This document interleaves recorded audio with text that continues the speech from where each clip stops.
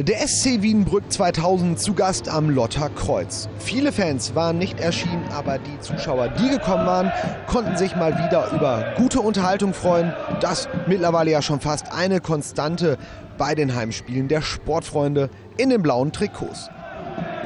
Den besseren Start erwischten die Gäste aus Wiedenbrück. Das Team von Trainer Theo Schneider immer noch beflügelt vom Sieg gegen Fortuna Düsseldorf im DFB-Pokal.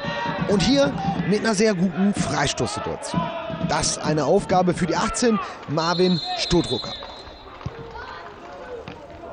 Klasse Parade von Benedikt Fernandes, dem Lotter Neuzugang zwischen den Pfosten. Die Sportfreunde nach vorne durchaus bemüht, es mangelte jedoch etwas an Durchschlagskraft. Scheid kommt hier zu Fall, dafür gibt aber wohl kein Schiedsrichter Elfmeter und die Szene läuft ungeschnitten weiter. Kapitän Marius Schrogowski kann den Ball unbedrängt durchs Mittelfeld treiben. Mit dem Seitenwechsel auf die rechte Außenbahn. Dann ein unfreiwilliger Doppelpass mit Sascha Herröder und da ist Marvin Stuttrucker. Stuttrucker mit dem Tor der Führung für die Gäste aus Wiedenbrück. Der Pokalheld vom Sportclub hatte wieder zugeschlagen. Fernandes übrigens ohne Abwehrchance. Nauber mit der 4 hatte den Schuss noch abgefälscht. Schwer zu sehen aus dieser Perspektive. Lottes Antwort auf den Rückstand. Sie ließ erstmal auf sich warten. Kein Durchkommen durch die kompakte Gästedefensive. Und hinten, da präsentierten sich die Hausherren völlig vogelwild. Fernandes mit kurzem Blackout, Stefan Langemann kann die Schlafmützigkeit jedoch nicht ausnutzen.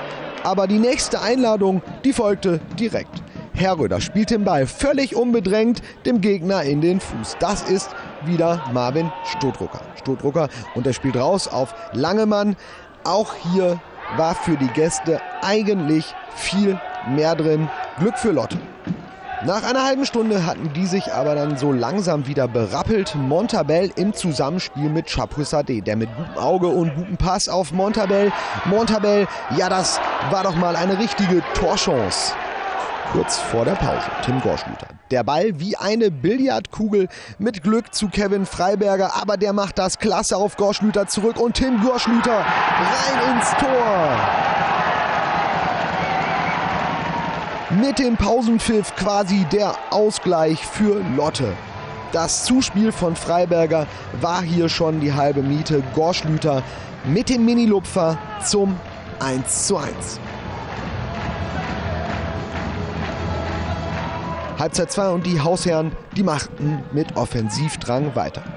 Hier gibt es einen Freistoß aus vielversprechender Position. 78. Spielminute. Chapuisade übernimmt das. Der Ball zu hoch. Nee, genau richtig für Kevin Freiberger. Spiel gedreht. 2 zu 1.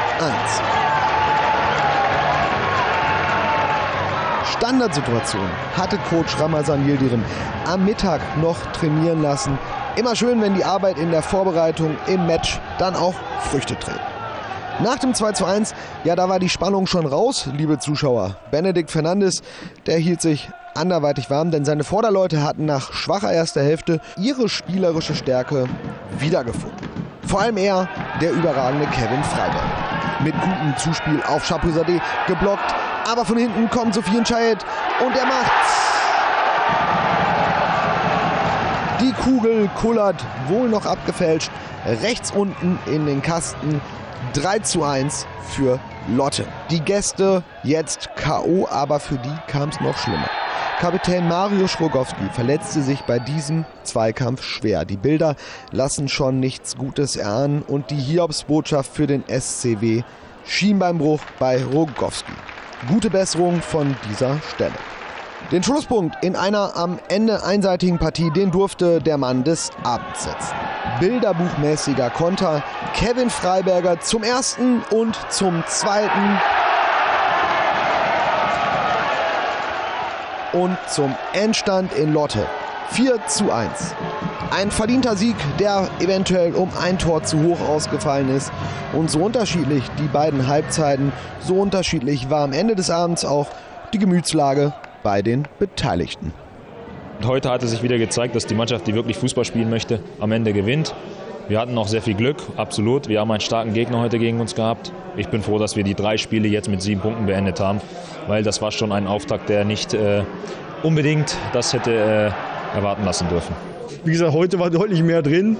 Wenn man dann am Ende mit einer 4-1-Niederlage nach Hause fährt, ist es natürlich umso bitterer, weil der, der, neutrale Zuschauer sieht das nackte Ergebnis. Wer das Spiel gesehen hat, weiß, das war eine ganz, ganz enge Kiste. Am Ende äh, ja, stehen wir mit leeren Händen hier und dazu kommt natürlich noch die schwere Verletzung von Marius Rogowski. Ähm, am Anfang haben wir es halt nicht gut gemacht. Bisschen zu viele Fehler, nicht gut in der Partie gewesen, zu weit auseinander.